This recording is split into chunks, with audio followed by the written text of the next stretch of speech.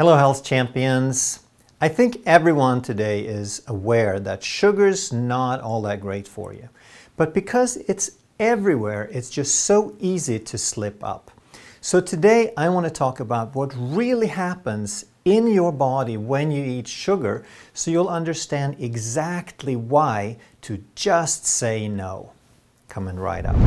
Hey, I'm Dr. Ekberg. I'm a holistic doctor and a former Olympic decathlete.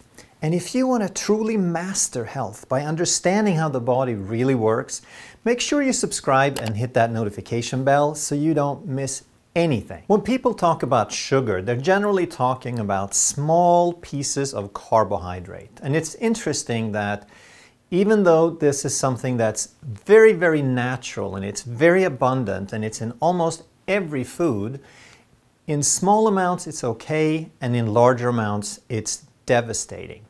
So small pieces of carbohydrate, that means disaccharides, meaning two molecules linked together, and monosaccharides, meaning a single molecule. The most common disaccharide is sucrose. That's what we're talking about when we say table sugar, white sugar, refined sugar. They're all sucrose, which is a fructose molecule and a glucose molecule linked up together. And even though that's a super tiny molecule, it's still too big to get into your bloodstream. So we need an enzyme to split that down the middle so that we have individual molecules before it can get into your bloodstream. The other common disaccharide is maltose.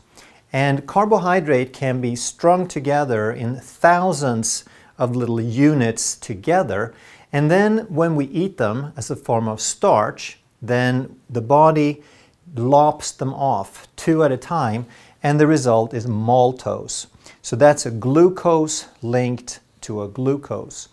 Now once we split them up we get glucose and glucose is what we're talking about when we're talking about blood sugar. So when we mention blood sugar, blood glucose, when we measure that, we're talking about how much of this molecule is floating around in your bloodstream. And the glycemic index, that's a measurement of how quickly the glucose in your blood increases after you eat something. For glucose, that's 100 because that's a benchmark. That's the reference of glycemic index. Fructose, on the other hand, has a glycemic index of only 20. So 100 is really fast and 20 is really slow. So a lot of people thought for the longest time that fructose was great for diabetics. They used it to sweeten candy and desserts and treats because it didn't trigger blood sugar. They thought blood sugar was the only problem. And we'll talk about in a moment why it's not the only problem. Sucrose has a glycemic index of 60 and that's because it's half fructose, half glucose, so it ends up right between 20 and 100. And maltose, interestingly, has 110. So even though this is linked together, for some reason when you eat maltose by itself, then it actually has a higher glycemic index than glucose. Now in reality, we eat maltose as starch. So bread and rice and potatoes and all of the starchy things, the comfort foods, they are starch, which is long chains of glucose, and we chop them up into maltose. So it takes a little bit of time to break this up, and that's why most of those starchy foods have glycemic indices in the 70s and 80s. You want to stay away from starch because this very, very quickly becomes glucose. Now, when we talk about health problems, the consequences of eating sugar, there's two different problems. And first, we talk about glucose, and that has to do with how it affects blood sugar levels. And the body really likes to have a narrow level of blood sugar, somewhere around 100. So if you're on a low carb, you probably want to be, say, from 70 to 110. That's a good level. And if you eat low carb, if you eat protein and fat and fiber and very little carbohydrate, your blood sugar is never really going to get outside this range at all. After you eat, it'll rise very slowly, it'll drop very slowly, and it will be stable. Now, when you eat sugar and processed foods, your blood sugar will start jumping because your blood sugar goes up very, very fast, and now you get a blood glucose roller coaster. And anytime it's high, you're going to have a stress, you're going to have a threat to your nervous system, so your body releases tons of insulin to bring the glucose down. So now you have hyperinsulinemia, too much insulin in the bloodstream. And when you have a lot of insulin, it's going to drop quickly. So now at the bottom end of this, you get hypoglycemia when your blood glucose is too low. And when you have hypoglycemia, now you have unstable energy. You feel good certain times, you have energy, and the next moment you have no energy. And your mood follows that energy, so you have mood swings. The other thing that happens when you have blood sugar swings is anytime it gets low and it's unstable, you get serious cravings and hunger. So that's the thing to keep in mind. A calorie is not a calorie because sugar makes you hungry. The second problem is fructose, which even though it doesn't affect blood sugar hardly at all, it is a stress on the liver. It's a huge burden because the liver is the only tissue that can metabolize fructose, then all the fructose has to pass through the liver. The fructose turns into glucose, the liver converts it, and then that turns into fat, and we end up with a fatty liver, a non-alcoholic fatty liver disease, and that goes hand in hand with insulin resistance and type 2 diabetes. Then if you put the two together, now you have a double whammy. You have the liver clogging of the fructose and you have the roller coaster blood sugar from glucose.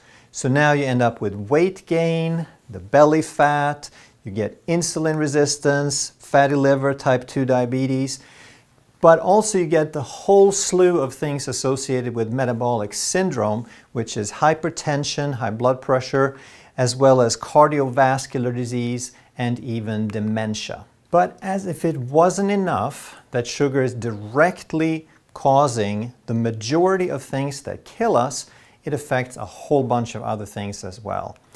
Your digestive tract, for example, it starts with the mouth and it causes cavities. That's what we tell our kids. You can't have sugar because it causes cavities. Well, it also interferes with mineral absorption, so it's related to mineral deficiencies. And then it gets really interesting because one of the most intricate, one of the most central pieces of human health is how our gut is doing, our microbiome. You have more life forms in your gut than you have cells in your body. And when you eat sugar, you selectively feed everything you don't want in your body. So the pathogenic bacteria, the yeast and the fungus and the parasites, they love sugar. it's like a buffet when you feed them sugar. So now you get an imbalance, you get a, a war zone down in your digestive tract where you're supposed to absorb all these nutrients. And as a result of that war zone, you get a leaky gut. And because of the leaky gut, pieces that are too large, they're supposed to not pass through. Now they pass through that leaky gut, and you get food allergies, which further sets you up for autoimmunity. All because of sugar. But it goes even further. Sugar affects your hormonal system, your endocrine system. Insulin is one of the most powerful hormones in your body. It has a tendency to sort of wipe out and dominate all the other hormones. Hormones determine everything about your behavior as far as hunger and satiety and sleep cycles and metabolism and so forth.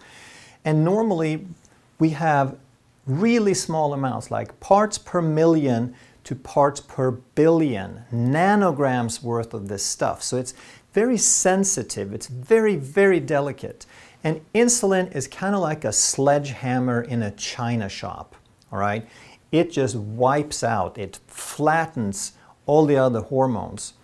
And if you have some hormone imbalances, I suggest you first fix insulin and then you look at what all the other hormones are doing before you go and take any other measure. One common problem is hypopituitary, an underperforming pituitary, because insulin resistance is associated with a low-grade inflammation which desensitizes. It keeps the pituitary from responding the way it's supposed to. And as a result, we also get hypothyroid when the pituitary isn't issuing the proper orders to the thyroid. And of course, another cause of hypothyroid is autoimmune Hashimoto's. Next, we have adrenal fatigue. Anytime your blood sugar fluctuates, but especially at the hypoglycemic part, and when you're stressed, then your adrenals have to compensate for those blood sugar swings and make cortisol. So now you're stressing out your adrenals as a result of that. PCOS, polycystic ovarian syndrome, very common in women. It is an insulin resistance problem. It is a common cause of infertility as well as irregular periods and painful periods. Another thing that can happen is in females we get masculinization. So females start developing male traits such as hirsutism, which is unwanted body hair, such as uh, dark, thick hair on the upper lip, uh, male pattern baldness. And in men, the opposite can happen. So men can start developing feminine traits like man boobs, for example. And because this often happens later in life, like 50, 60 years old, then a lot of times it's like grandma starts looking like grandpa and vice versa. So think about this and take care of it because it's really tough on the grandkids when they can't tell grandma and grandpa apart. And here's a quick summary of everything that sugar causes. And now because you're really smart and you've watched a lot of videos on this channel, you understand the amazing recuperative power, restorative powers of the body. So if sugar causes all this, then you now understand that stopping to eat sugar has a really good chance of reversing all or most of this, at least to some degree. So just say no. If you enjoyed this video and you'd like to learn more about how to get truly healthy, I think that video would be a great one to watch next. Thank you so much for watching. I'll see you in the next video. Now, if you've gotten some benefit from the information on this channel and you'd like to support us, there's now a way that you can do that. You click that join button, you can now become a member and officially support us and you get some perks from that as well.